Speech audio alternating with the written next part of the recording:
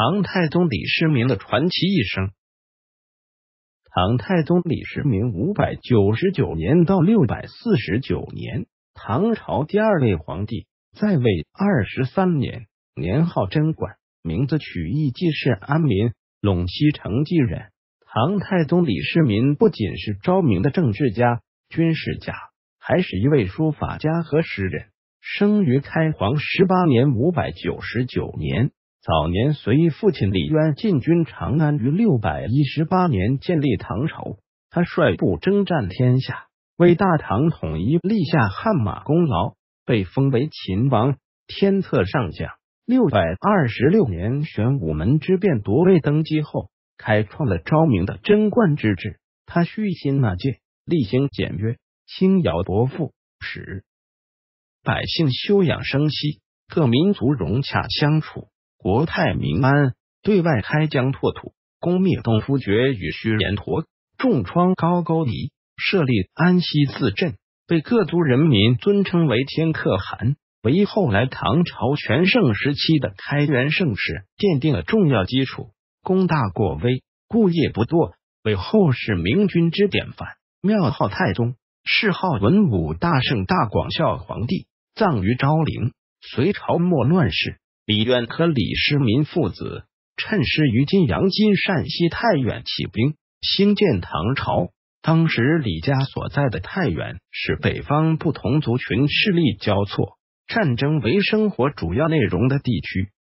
按民国军事家蒋百里的说法，生活方式与战斗方式高度一致，这就决定了唐太宗年幼时代所受的教育是一种武士化的贵族子弟教育。其设战斗技能以及战略的知识，乃成为其日常的功课。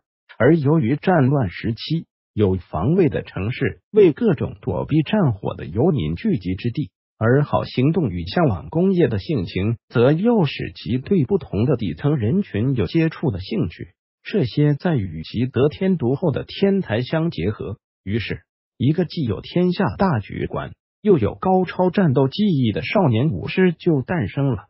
中国是文艺作品的皇帝，经常是一副德高望重的样子，很稳重，缺少像西方历史上亚历山大、凯撒、拿破仑一类的政治领袖，既是统帅和政治工业的开创者，自身又是具备崇高武德和天才战斗技艺的武士。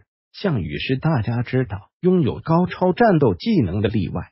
但他本身战略思维的水准以及政治智慧的不足，却又降低了他作为伟大士兵的声望。而他对俘虏的残忍，更是一件败坏武德的不名誉行为。回顾中国历史，要说在这方面足以与世界上那些伟大世家媲美的人物，唐太宗绝对是其中之一。唐朝建立以后，为统一全国，先后进行了六次大的战役。这六个战役里，世民就指挥了四个，全部取得了胜利，为唐朝立下了赫赫战功。第一次是对陇右薛举父子集团的战役。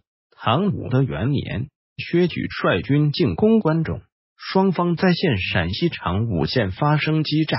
由于李世民生病，刘文静不听元帅告诫，而听阴开山之计出战，被薛举所败，退回长安。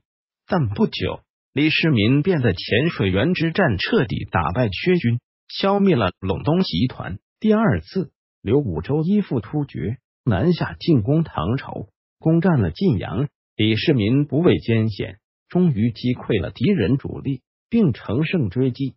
两天不吃饭，三天不解甲，一日八战，八战皆胜，彻底消灭了敌军，收复了丢失的土地。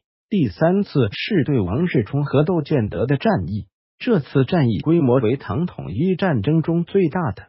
在这次战役中，李世民先将王世充击败，围困在洛阳，另其无粮草供应，待其自毙。就在洛阳江夏未下之时，河北的窦建德军十余万众，号称三十万为救援王世充，突然出现在唐军背后。李世民力排众议，亲。率三千五百人在虎牢之战中大败窦建德军，生擒窦建德。洛阳的王世充也只得投降。这次李世民一举两克，取得了决定性的胜利。第四次是平定刘黑闼的战役。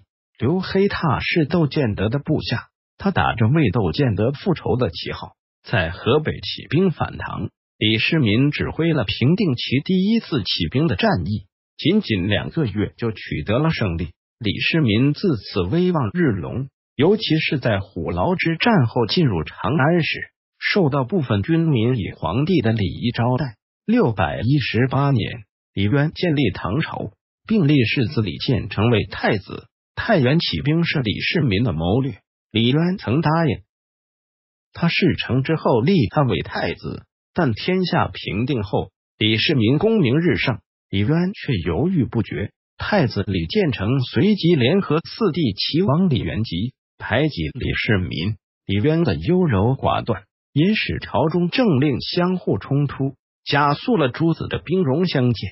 李建成曾经下毒害李世民。武德九年，突厥犯边，李建成向李渊建议，由李元吉做统帅出征突厥，借此要把握住秦王的兵马，并准备在昆明池设伏兵杀李世民。太子府绿更成王志把这一秘密告诉了秦王。李世民在危急时刻决定背水一战，先发制人，抢先一步杀死大哥李建成和四弟齐王李元吉。这就是历史上有名的玄武门之变。三天后癸亥，李世民被立为皇太子。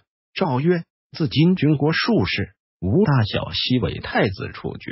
然后文奏。两个月后，李渊退位，李世民登基。唐太宗即位后，居安思危，任用贤良，虚怀纳谏，实行轻徭薄赋、舒缓刑罚的政策，并且进行了一系列政治。军事改革终于促成了社会安定、生产发展的升平景象，史称贞观之治。唐太宗自十六岁正式参加战斗，直到二十九岁通过政变成为皇帝。这种辉煌武士的青春时代，对他的一生事业也有决定性的。漫长的战斗岁月使其辽属成为政治利益一体化的团体。而长期战斗中形成的战友感情，也给传统的君臣关系注入了一种难得的伙伴色彩。这也是唐初政治空气相比其他王朝远为宽松的原因之一。更重要的是，战斗的残酷和战略思维的务实、严谨与冷静，也给予他与众不同的人格和个性训练，使他的统治更富于人性与理性色彩。可以说。他统治的年代也是中国漫长帝王专制历史上罕见的思想相对宽容、个性化和文化上开放的年代。这是他作为伟大的帝王经常被后世人们怀念的重要原因。